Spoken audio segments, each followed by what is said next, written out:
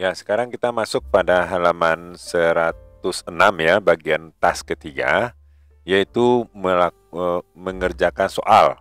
Ya, soal di mana apa tugasnya adalah cobalah untuk menulis kalimat-kalimat yang menggunakan kata benda dan kata kerja eh, bukan, menggunakan bentuk-bentuk ya, bentuk-bentuk kata benda dan kata kerja dari kalimat-kalimat eh, kata-kata dari kali kata-kata di bawah ini. Ya, jadi kalian menggunakan kata-kata di sini. Nah, ini ada eh, bagaimana cara mengerjakannya? Nah, mengerjakannya itu kita menggunakan Google Terjemahan. Bagaimana cara menggunakan Google Terjemahan? Nah, kita lihat dulu seperti ini dia caranya. Nah, kita buka dulu Google Terjemahannya seperti ini. Nah, setelah itu Ya. Oh ya, sebelum kita mulai, kalian perlu paham bahwa kalimat yang akan digunakan ini bebas ya. Tidak ter terdapat uh, ketentuan khusus ya. Yang penting ada kata-kata donat untuk kalimat pertama dan donation ya. Di, untuk soal yang pertama ada don kata-kata donate, donate ya dan donation. Nah, bagaimana menggunakan bahasa Google terjemahan seperti ini? Caranya gampang. Yang pertama kalian harus mengerti atau mengetahui eh, kata-kata uh, donate ini apa dalam bahasa uh, di Google terjemahan. Seperti ini. Donate ya.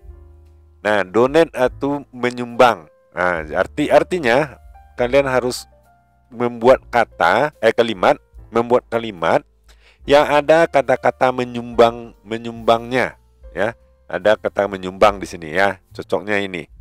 Jadi uh, setelah itu sudah dapat bayangan kan? Kalian rubah ini menjadi hapus dulu Indonesia Inggris ya. Nah, kalian buat apa kira-kira yang ada kata-kata menyumbang? Nah, salah satunya saya dibuat di sini adalah kami menyumbang buku untuk perpustakaan sekolah. Ya. Kami menyumbang buku untuk perpustakaan sekolah. Nah, itu dia. We donate books to the school library. Nah, itu salah satunya ya. Set, dapat satu kalimat ya untuk donate ya.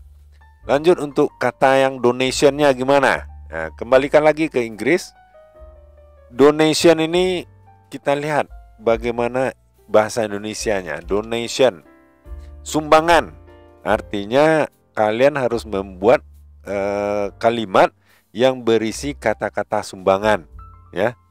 Nah, mungkin bisa kita eh, kalimatnya itu adalah sambungan dari eh, kata-kata donate ini tadi ya. Nah, mungkin tadi kan kat, eh, kat, kalimatnya adalah eh, kami menyumbang buku untuk perpustakaan sekolah. Kan seperti itu. Nah, ke sekarang kita buat sumbangan ya. Sumbangan itu itu sumbangan tersebut diberikan pada hari ini. Nah, seperti itu. Sumbangan tersebut diberikan pada hari ini. Nah, nama the donation was made today. Nah, selesai. Begitu juga untuk kalimat uh, tugas yang kedua, contribute ya. Kalian cari dulu bahasa Indonesia bahasa Indonesia contribute ini apa di Google terjemahan. Contribute menyumbang ya menyumbang. Atau berkontribusi cocoknya di sini ya. Karena donate juga ada e, menyumbang kontribut juga e, berkontribusi bagusnya di sini. Nah apa kalimat-kalimatnya yang cocok? Ya ada yang kata-kata berkontribusi ya. Nah, buat saja apa kalimat berkontribusi yang cocok yang kira-kira yang terlintas di pikiran kalian kalau saya di sini e, membuatnya seperti ini. Amir berkontribusi dalam acara perpisahan sekolah. Nah, Amir berkontribusi dalam acara perpisahan sekolah. Nah, Amir contributes to the school farewell event. Nah, ya. Begitu juga untuk contribution. Nah, contribution kalian cari dulu oh, bahasa Indonesianya apa? Contribution. Ya, kontribusi ya. Nah, jadi ada kalimat-kalimatnya yang kata-kata berkontribusi. Jadi eh, buat bahasa Indonesianya, Indonesia Inggrisnya adalah kontribusinya adalah menyanyikan sebuah lagu. Misalnya kita sambung saja tadi Amir kan mengatakan Amir berkontribusi dalam acara perpisahan sekolah ya. Nah, sekarang sekarang kita buat kontribusinya adalah menyanyikan sebuah lagu. Nah, kontribusinya adalah menyanyikan sebuah lagu misalnya. Nah, itu dia his contribution was singing a song. Nah, itu contohnya. Nah, berikutnya untuk yang nomor tiga, promote. Kita cari lagi ke bahasa Inggrisnya apa, bahasa Indonesia-nya apa promote dalam bahasa Inggris di Google terjemahan ini. Promote. Dipromosikan. Promote ya mempromosikan ya. Mempromosikan. Jadi harus ada kata-kata mempromosikan dalam kalimat yang akan kita buat nanti. Nah kita rubah. Saya eh, kalau saya begini saja. Ya, contohnya ini ya kalian jangan tiru yang ini. Buat uh, uh, buat uh, kalimat yang lain Perusahaan tempat ayah bekerja mempromosikan produknya, produknya, produknya ke sekolah. Nah, seperti itu. The company where that works promotes its product to school. Nah, seperti itu. Ya. Nah, lanjut untuk promotion. Nah, promotion. Promotion kita lihat apa bahasa Indonesianya. Promosi ya. Jadi ada kata-kata promosi dalam kalimat yang akan kita buat nanti. Nah, di sini saya cobakan promosi, promosi produk tersebut ya. Sambung dari yang uh, perusahaan tempat ayah bekerja tadi. Promosi produk tersebut berupa beli dua gratis satu. Nah, itu dia ya kita jadikan ya ini dia Inggris Indonesia Inggris ya. Produk promotion is in the form of buy two get one free. Nah itu dia. Begitu juga untuk nomor 4 nomor 4 ya buat cari dulu uh, create apa kata-kata create di sini. Yaitu membuat ya membuat Nah, buatlah kalimat yang ada eh, buat kalimat yang ada kata-kata membuatnya. Nah, kita uh, misalnya saya di sini Badu membuat membuat sebuah lukisan. Nah, itu dia. Nah, ini dia. Badu makes a painting, ya. Nah, untuk creation ya. Uh, creationnya apa? Bahasa Indonesianya. Creation. Nah, kreasi ya. Kreasi. Jadi ada kata-kata kreasi dalam kalimat yang akan kita buat nanti.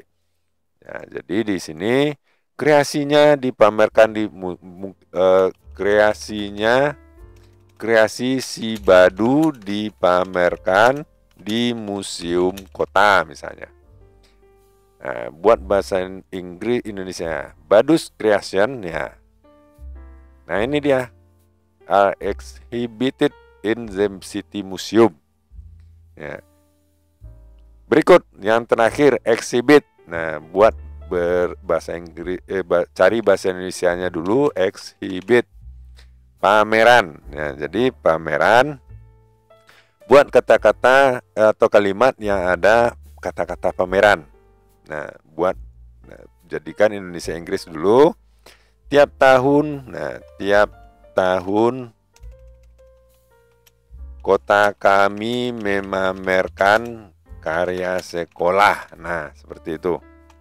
Nah, nah itu dia. Ada exhibit ya, school works. Ya. Kemudian exhibition. Cari dulu bahasa Indonesianya apa.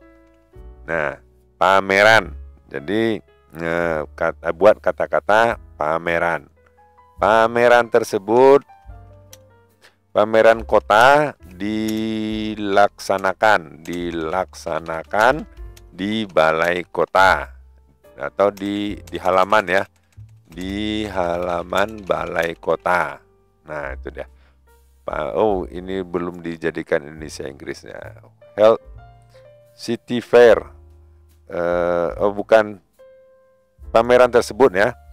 Pameran tersebut dilaksanakan di Balai Kota. Nah, itu dia.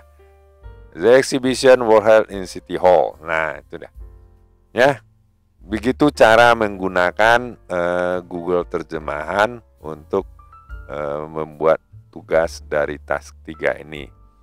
Jadi uh, kalian bisa membuatnya dalam bahasa Indonesia dulu. Langkah pertama yaitu ten, uh, dapatkan dulu arti dari kalimat uh, arti dari kata yang dicantumkan. Misalnya donat ini ya, kalian cari artinya dalam bahasa uh, Inggris Indonesia.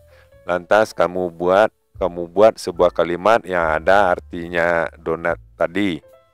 Terus barulah dibuat kalimatnya dalam uh, ke menggunakan Google terjemahan ini dalam Indonesia Inggris. Nah, Itulah cara dalam mengerjakan tugas tas ketiga ini. Ya, jangan lupa subscribe dan like videonya, uh, sampaikan pada guru dan teman, diskusikan dalam kelas, mudah-mudahan bermanfaat. Sampai jumpa.